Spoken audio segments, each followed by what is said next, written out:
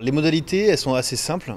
On avait le choix entre euh, des jauges à 45, euh, moins de 50 personnes, euh, et on n'avait pas à, contrôler les passes sanitaires, à trier nos clients, et ou choisir le fait de trier nos clients en contrôlant les passes sanitaires valides et d'avoir des jauges à 100%. De 10h à 11h, tout le monde peut venir dans la limite de 50 personnes.